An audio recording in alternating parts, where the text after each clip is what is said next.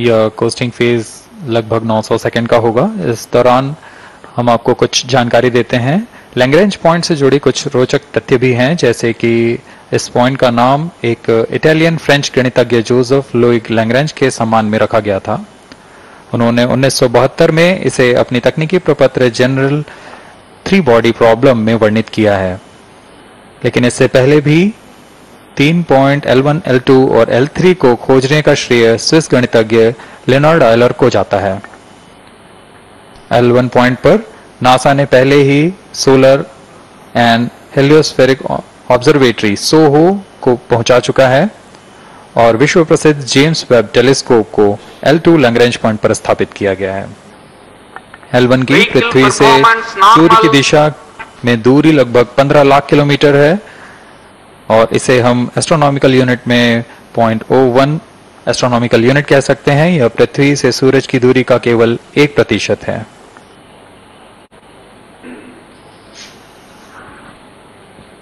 The vantage point for observing sun is a place in between the sun and earth where direct visibility exists to the sun while continuous communication link exists with the earth.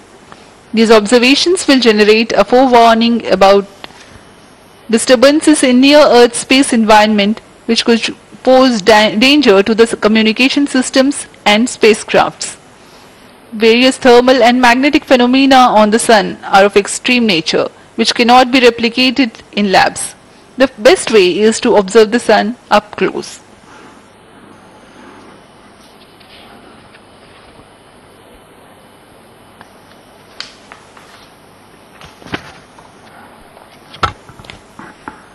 The distance between the Earth and Sun is approximately 150 million kilometers. At the central region of the Sun, known as core, the temperature can reach as high as 15 million degrees Celsius. Power source ಯಶಸ್ವಿಯಾಗಿ launch ಆಗಿದೆ ಈಗ ನಿಮಗೆ ತೋರಿಸ್ತಾ ಇದೀವಿ ದೃಶ್ಯಾವಳಿಗಳಲ್ಲಿ ಗಮನಿಸ್ತಾ ಇದ್ದೀರಾ ಇದನ್ನು ನಮ್ಮ ಜೊತೆ ಇಸ್ರೋದ ಮಾಜಿ ವಿಜ್ಞಾನಿಗಳಾಗಿರುವಂತಹ ದಾಕ್ಷಾಯಿಣಿ ಮೇಡಮ್ ಜಾಯ್ನ್ ಆಗಿದ್ದಾರೆ. ಅವರಿಂದನೇ ಎಕ್ಸ್ಪ್ಲೈನ್ ಮಾಡಿಸ್ತಾ ಹೋಗ್ತೀನಿ ಮೇಡಮ್ ಇದನ್ನ ನೋಡ್ತಾ ಇದ್ರೆ ಏನು ಹೇಳ್ತಾ ಹೋಗ್ಬೋದು Aditya L1 spacecraft is ಆ, ಇದೇನಂತಂದ್ರೆ ಇದು ಲಾಂಚರ್ ಉಡಾವಣೆ ಮಾಡತ್ತಲ್ಲ? ಅದು ಪಿ ಎಸ್ ಎಲ್ ವಿ ರಾಕೆಟಿಂದ ಉಡಾವಣೆ ಆಗಿ ಅದು ಒಂದು ಕಕ್ಷೆಗೆ ಹೋಗುತ್ತೆ. ಓಕೆ ಆ ಕಕ್ಷೆಗೆ ಹೋಗೋದು ಪೆರಿಜಿ ಡಿಸ್ಟೆನ್ಸ್ ಅಂತ ಹೇಳ್ತೀವಿ. ಅದು ಇನ್ನೂರ ಮೂವತ್ತೈದು ಕಿಲೋಮೀಟರ್ ಇರುತ್ತೆ. ಅಲ್ಲಿ ಕಾಣತ್ತೆ ನೋಡಿ ನಿಮಗೆ ಒಂದು ಎಲಿಪ್ಟಿಕಲ್ ಆರ್ಬಿಟ್ ಥರ ಅಪೋಜಿ ಬಂದು ಹತ್ತೊಂಬತ್ತು ಸಾವಿರದ ಐನೂರು ಕಿಲೋಮೀಟರ್ ಇರುತ್ತೆ. ಓಕೆ. ಇದರಲ್ಲಿ ಒಂದೇನು ವಿಶೇಷತೆ ಅಂದರೆ ಇದರಲ್ಲಿ ಈ ಉಡಾವಣೆ ಮಾಡ್ತೀವಲ್ಲ ಲಿಫ್ಟ್ ಆಫ್ ಅಂತ ಏನು ಹೇಳ್ತೀವಿ ರಾಕೆಟ್ ಲಿಫ್ಟ್ ಆಫ್ ಆಗುತ್ತಲ್ಲ? ಅದು ಆದಮೇಲೆ ಅದು ಇಂಜೆಕ್ಟ್ ಮಾಡೋದಕ್ಕೆ ನಿಯರ್ಲಿ ಆಲ್ಮೋಸ್ಟ್ ಒನ್ ಅವರ್ ತೊಗೊಳತ್ತೆ ಇದು. ಬೇರೆ ಮಿಷನ್ಸ್ ಎಲ್ಲ ಹದಿನಾರು ಹದಿನೇಳು ಇಪ್ಪತ್ತು ನಿಮಿಷ ಆ ಥರನೇ ತೊಗೊಂಡಿದೆ. ಇದು ಏನಕ್ಕೆ ಅಂದರೆ ಒಂದು ಪರ್ಟಿಕ್ಯುಲರ್ ಆ್ಯಂಗಲ್ ನಾವು ರೀಚ್ ಆಗಬೇಕು. That is called argument of perigee ಅಂತ. ಅಂದರೆ ಅದನ್ನು ಈಕ್ವೇಟರಲ್ ಒಂದು ರೆಫರೆನ್ಸ್ ಲೈನಿಂದ ಮೆಷರ್ ಮಾಡಿರ್ತಾರೆ. ಸೊ ಅದು ಯಾಕೆ ಬೇಕು ನಮಗೆ ಅಂದರೆ ನಾವು ಎಲ್ ಒನ್ ಪಾಯಿಂಟ್ ಹತ್ರ ಹೋದಾಗ ಅದನ್ನು ಸ್ಯಾಟಲೈಟ್ನ ಆದಿತ್ಯನ ಎಲ್ ಒನ್ ಸುತ್ತ ತಿರುಗೋಂಗೆ ಮಾಡಬೇಕು. ಎಲ್ ಒನ್ ಸುತ್ತ ತಿರುಗೋಂಗೆ ಮಾಡಬೇಕಾದ್ರೆ ನಾವು ಅದಕ್ಕೆ ಒಂದು ವೆಲಾಸಿಟಿ ಕೊಡಬೇಕಾಗತ್ತೆ ಅಲ್ಲಿ. ಅದು ಎಷ್ಟು ಅಂದರೆ ಮಿನಿಮಮ್ ಇರಬೇಕು. ಯಾಕೆಂದರೆ ನಾವು ಫ್ಯೂಯಲ್ನ ಯೂ ಸ್ಪೆಂಡ್ ಮಾಡೋದು ಕಮ್ಮಿ ಇರಬೇಕು ನಮಗೆ. ಜಾಸ್ತಿ ಫ್ಯೂಯಲ್ ಸ್ಪೆಂಡ್ ಮಾಡಬಾರ್ದು.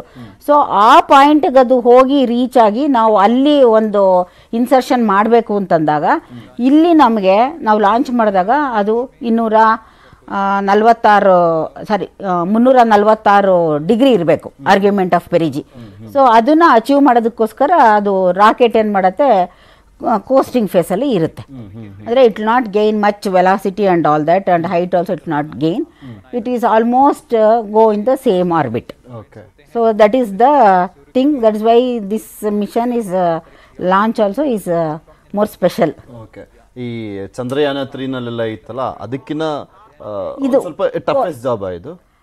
ಇನ್ ಲಾಂಚರ್ ವೈಸ್ ಇದು ಸ್ವಲ್ಪ ಟಫೆಸ್ಟು ಆಮೇಲೆ ಇನ್ಸರ್ಷನ್ ಇದೆಯಲ್ಲ ಅದು ಈಗ ಪಿ ಎಸ್ ಎಲ್ ಒಂದು ವಿಗೂ ಎಲ್ ಎಂ ವಿಗೂ ಏನ್ difference actually P S L P V S L V ಇದು ಫೋರ್ ಸ್ಟೇಜ್ ಎಂಜಿನ್ ಅದು L M V three launch vehicle mark three ಅಂತ that is mainly use for G S L V missions ಅದು three stage engine ಅದರಲ್ಲಿ cryogenic stage ಇದೆ.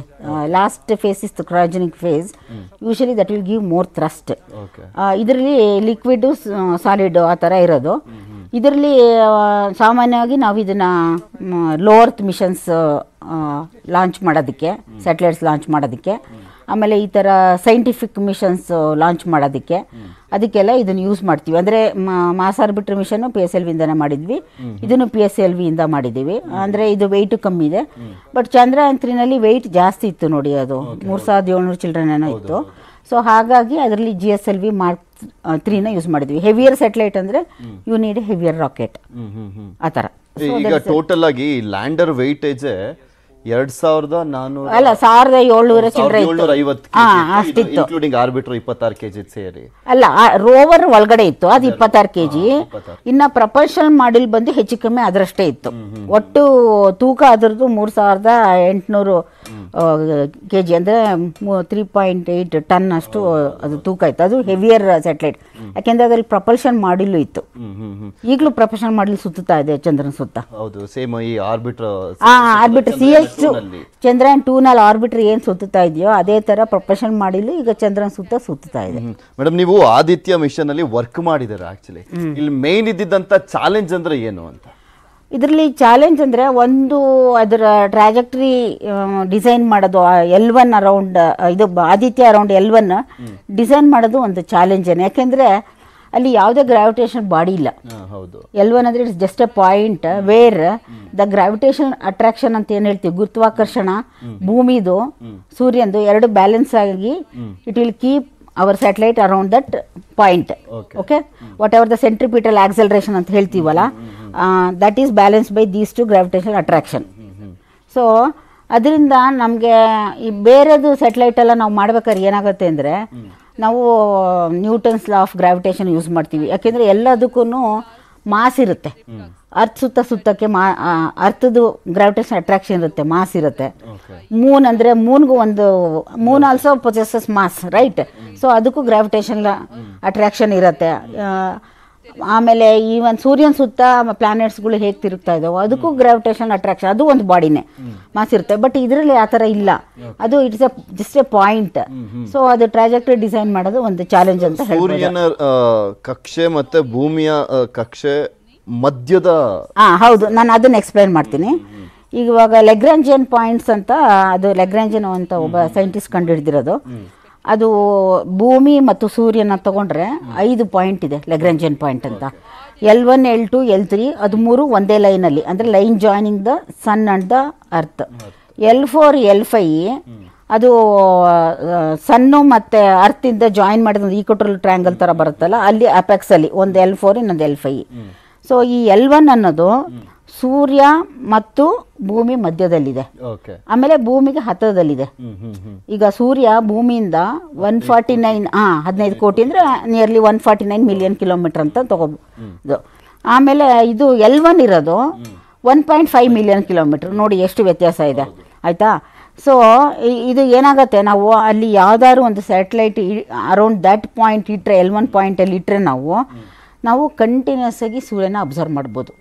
ಅಲ್ಲಿ ಯಾವುದೇ body occult ಮಾಡಲ್ಲ eclipse ಮಾಡಲ್ಲ you can constantly observe sun ಆಮೇಲೆ ಇನ್ನೊಂದು ಭೂಮಿಗೆ ಸ್ವಲ್ಪ ಹತ್ತಿರ ಇರೋದ್ರಿಂದನು ಸೊ ಭೂಮಿಗೆ ನಾವು ಅದಕ್ಕೆ ಕಮಾಂಡ್ಸ್ ಕಳ್ಸೋದಾಗ್ಲಿ ಅದರಿಂದ ತೊಗೊಳೋದಾಗಲಿ ನಮಗೆ nearly some eight hours sometimes ten hours ನಮ್ಗೆ ನಮ್ಮ ಸ್ಟೇಷನ್ಗೆ ವಿಸಿಬಿಲಿಟಿ ಸಿಗುತ್ತೆ. ಈಗ ಅರ್ತ್ ರೊಟೇಷನ್ ಆಗೋದ್ರಿಂದ ಕೆಲವು ಸಲ ಏನಾಗುತ್ತೆ ನಾವು ಬೇರೆ ಸ್ಟೇಷನ್ ಅಂದರೆ ಈಗ ಅಮೆರಿಕದಲ್ಲಿರೋ ಸ್ಟೇಷನ್ ಅಥವಾ ಆಸ್ಟ್ರೇಲಿಯಾ ಸ್ಟೇಷನ್ ತೊಗೊಂಡ್ರೆ ಅಲ್ಲಿಂದನೂ ನಾವು ಡೇಟಾ ಕಮಾಂಡ್ಸ್ ಕಳಿಸೋದು ಆಮೇಲೆ ಅದರಿಂದ ಇನ್ಫಾರ್ಮೇಶನ್ ತೊಗೊಳೋದು ಮಾಡ್ಬೋದು.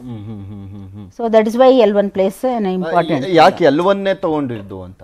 ಎಲ್ ಒನ್ ಪಾಯಿಂಟೇ ಚೂಸ್ ಮಾಡಿದ್ವಿ ಅದೇನೆ ಎಲ್ ಒನ್ ತಗೊಂಡ್ರೆ ನಾನು ಹೇಳಿದ್ನಲ್ಲ ಅದ್ರಲ್ಲಿ ಯಾವುದೇ ಅಬ್ಸ್ಟ್ರಕ್ಷನ್ ಇಲ್ಲ ಎಕ್ಲಿಪ್ಸ್ ಇಲ್ಲ. ಈಗ ಎಲ್ ಟು ತಗೋತೀರಾ ಅಂತ ಇಟ್ಕೊಳ್ಳಿ. ಎಲ್ ಟುನಲ್ಲೂ ಬೇರೆ ಮಿಷನ್ಸ್ ಕೆಲವು ಹೋಗಿದ್ದಾವೆ ಎಲ್ ಟು ತಗೊಂಡ್ರೆ ಕೆಲವು ಸಲ ನಮ್ಮ ಇದನ್ನ ಅರ್ಥೆ ಸ್ವಲ್ಪ ಅಬ್ಸ್ಟ್ರಾಕ್ಟ್ ಮಾಡ್ಬೋದು. ಎಲ್ ತ್ರೀ ತಗೊಂಡ್ರೆ ಸೂರ್ಯನ ಅಬ್ಸ್ಟ್ರಾಕ್ಟ್ ಮಾಡ್ಬಿಡ್ತಾನೆ. ಅಂದ್ರೆ ಭೂಮಿ ಸೂರ್ಯನ ನಡುವೆ ಇರೋ. ಸೂರ್ಯನ ಹತ್ರ ಇರುವಂತ ಫಸ್ಟ್ ಪಾಯಿಂಟ್ ಅಂತ ಹೇಳ್ಬೋದಾ ಅಲ್ಲ ಭೂಮಿಗೆ ಹತ್ರ ಆಗುತ್ತೆ ಅವೆರಡರ ಮಧ್ಯ ಇರೋದು.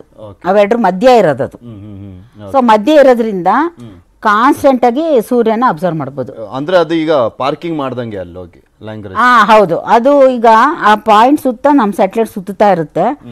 ಅದರ ಆರ್ಬಿಟಲ್ ಪೀರಿಯಡ್ ಬಂದು ಒಂದು ಹೆಚ್ಚು ಕಮ್ಮಿ ಆರು ತಿಂಗಳಿರುತ್ತೆ. ಬಟ್ ಏನಾಗುತ್ತೆ ಅದು ಒಂದು ತ್ರೀ ಮಂತ್ಸ್ ಆದಮೇಲೆ ಅದ್ರದ್ದು ಆರ್ಬಿಟ್ ಸ್ವಲ್ಪ ಡಿವೇಟ್ ಆಗ್ತಾ ಬರುತ್ತೆ. ಯಾಕೆಂದರೆ ಈ ಸೂರ್ಯನದು ರೇಸ್ ಏನಿದೆ they are corpuscle in nature ಅದು ಬಂದು ಸ್ಯಾಟಲೈಟ್ ಮೇಲೆ ಬಿದ್ದಾಗ ಏನಾಗುತ್ತೆ ಅದು ಸ್ಯಾಟಲೈಟ್ ಆರ್ಬಿಟ್ ಚೇಂಜ್ ಆಗುತ್ತೆ. ಸೊ ನಾವು ಅದನ್ನ ಮಾಡೆಲ್ ಮಾಡ್ತೀವಿ? ಆಮೇಲೆ ಮತ್ತೆ ಇನ್ನೊಂದು ಕೆಲವು ಥ್ರಸ್ಟರ್ಸ್ನ ಫೈರ್ ಮಾಡ್ತಾ ಇರ್ತೀವಿ. ಅಂದರೆ ಸ್ಯಾಟಲೈಟ್ ಓರಿಯೆಂಟೇಷನ್ ಕಂಟ್ರೋಲ್ ಮಾಡೋದಕ್ಕೆ ಅದಕ್ಕೆಲ್ಲ ನಾವು ಥ್ರಸ್ಟರ್ಸ್ ಫೈರ್ ಮಾಡ್ತೀವಿ. ಸೊ ಅದು ಮಾಡಿದಾಗ ಏನಾಗುತ್ತೆ ಅದರ ಸ್ವಲ್ಪ ಎಫೆಕ್ಟು ಈ ಒಂದು we wanted to change the direction of the satellite sometimes it will change the orbit also so ನಾವು ಅದೆಲ್ಲ ಮಾಡೆಲ್ ಮಾಡಿ ಮಾಡ್ತೀವಿ. ಅವಾಗ ಗೊತ್ತಾಗುತ್ತೆ ಅದು ಡಿವಿಯೇಟ್ ಆಗ್ತಾ ಇದೆ ಅಂತ. ಅವಾಗ ಏನಾಗುತ್ತೆ ಅದು ಡಿವಿಯೇಟ್ ಆದರೆ ಅದು ಸುತ್ತೋದಿಲ್ಲ. ಅದರಿಂದ ಹೊಟ್ಟೋಗ್ಬಿಡುತ್ತೆ ಎಲ್ ಒನ್ ಪಾಯಿಂಟಿಂದ ಸೊ ಹಾಗಾಗಿ almost once in three months ಅದನ್ನ ಮಾನಿಟರ್ ಮಾಡ್ತಾ ಇರಬೇಕು. ಎಕ್ಸಾಕ್ಟ್ಲಿ ತ್ರೀ ಮಂತ್ಸ್ ಅಂತಾನೆ ಅಲ್ಲ. ಮಾನಿಟರ್ ಮಾಡ್ತಾ ಇರ್ತೀವಿ ಒನ್ಸ್ ಇನ್ ತ್ರೀ ಮಂತ್ಸ್ ಅಥವಾ two months depending on how it it's orbit is changing ಆವಾಗ ಅದನ್ನ ಸ್ಟೇಷನ್ ಕೀಪಿಂಗ್ ಮ್ಯಾನುವರ್ ಅಂತ ಹೇಳ್ತೀವಿ ನಾವು. ಅದನ್ನ ಮಾಡ್ತಾ ಇರ್ತೀವಿ. ಅದಕ್ಕೆ. ನಮ್ಮ ಜೊತೆ ಆದಿತ್ಯ ಅವರು ಕೂಡ ಇದ್ದಾರೆ ಆದಿತ್ಯ ಅವರ ನಮ್ಮ ಜೊತೆ ದಾಕ್ಷಾಯಿಣಿ ಮೇಡಮ್ ಇದ್ರು. ಅವರು ಆದಿತ್ಯ ಮಿಷನ್ನಲ್ಲಿ ವರ್ಕ್ ಮಾಡ್ದಂಥವ್ರು ನೀವು ಆದಿತ್ಯ ಮಿಷನ್ ಬಗ್ಗೆ ತುಂಬಾ ರಿಸರ್ಚ್ ಮಾಡ್ತಾ ಇದ್ದೀರಾ? ಈ ಪೇಲೋಡ್ಸ್ ಬಗ್ಗೆ ನೋಡ್ತಾ ಹೋದಾದ್ರೆ ಏಳು ಪೇಲೋಡ್ಸ್ ಇದೆ ಇದರಲ್ಲಿ? ಹೌದು. ಪೇಲೋಡ್ಸ್ ಬಗ್ಗೆ ಹೇಳ್ತಾ ಹೋಗುತ್ತೆ ಬಹಳ ಇಂಟ್ರೆಸ್ಟಿಂಗ್ ಇರುವಂತಹ ಪೇಲೋಡ್ಸ್ ಗಳಿದೆ. ಸೊ